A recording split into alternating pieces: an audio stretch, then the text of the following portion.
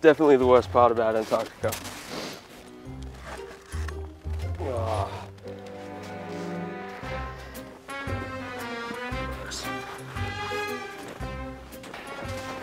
So we don't leave anything behind here in the environment.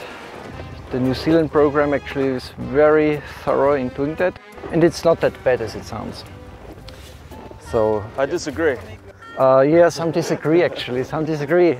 Uh, I don't think so. I mean, uh, at least for glaciologists here out there, I mean, it's cold. We have got minus 10, minus 15 something. So normally it freezes very quickly. Yeah, but not And- after the morning rush. Yeah, the, okay. so you need to hold your nose maybe.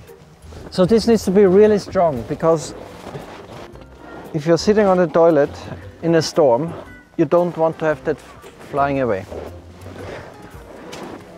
What did you just put in there?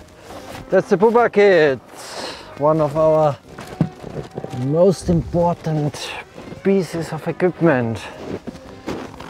Ah.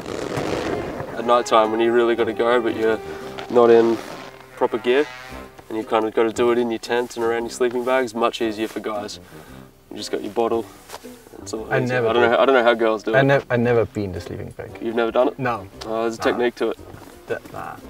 Well, not in the sleeping bag, but in the tent. This is what I don't.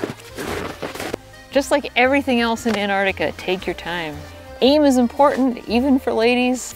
If you try to fill your pee bottle too fast, you're unlikely to have perfect accuracy. You really don't want to mess up that place. So if you get in there and you, you, you are- w- I mean, it's like at home.